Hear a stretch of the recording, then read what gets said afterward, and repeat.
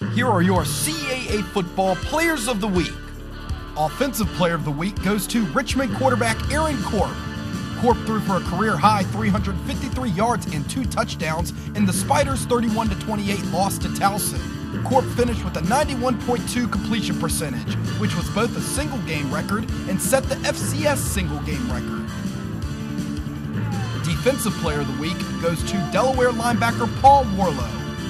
Worrilow logged a team high 11 tackles, but more importantly was a leader for a unit which kept the tribe off the scoreboard for the first time in 14 years in the Blue Hens' 21 0 win.